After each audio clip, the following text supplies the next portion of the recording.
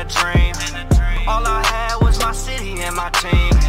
Never had no money and no green, yeah. Still I'm getting there, still I'm getting there. These hoes you can't turn into no queen. You want that clout plus to be up on the scene, yeah. You're too sweet with some sauce up on the screen, yeah. Now you getting. Hey, what's going on everybody? Welcome to the fan club. It's your boy D Bros, Dan Brosnan in the building. We have a quick little video for you guys today and I hope you guys are having a great day, a great evening. Whenever you're watching this video, we hope it is great. Today's episode, we have some quick little news.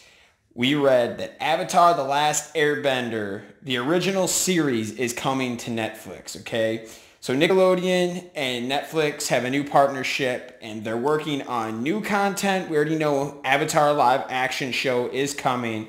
Well, now we finally get to see the full show in its entirety on Netflix. It's been a long time since I've got to really see the show. I have the first two seasons, first two books, if you will, and I have like volume one of book three. Tell you the truth, I haven't watched book three since it came out, like back in like 2008. So I would love to see it again. I cannot wait. Netflix, thank you. This is one show that I've been waiting to see on Netflix so I can just binge and watch every episode, show my family what Avatar is all about. It is just an incredible show. The characters, the story, the character development, where they start and how they finish is just amazing. And I cannot wait for this to come to Netflix. It is going to be incredible. What do you guys think about this? Are you excited to see this on Netflix? Because I for sure am. For one, I just can't wait. It's going to be awesome.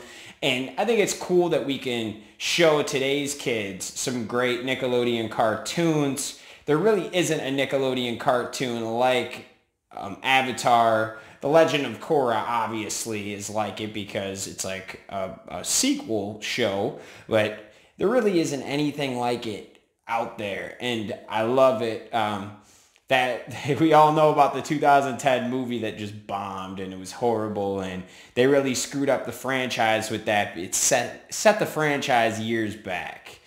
But now that Netflix making that live action show, I can't wait to see it. What do you guys think about it? Let me know in the comments. Are you guys excited? Because I am.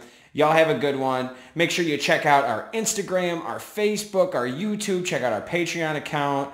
Go buy a t-shirt. Go support your friendly fan club. We love you guys. Thanks for watching. Peace.